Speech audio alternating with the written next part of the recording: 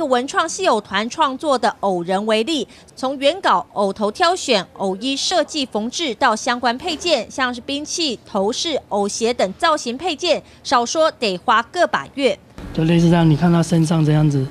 有很多的铆钉啊，或者是这一些珠珠这样子，然后出来的话就会就会比较像这样五身上比较大。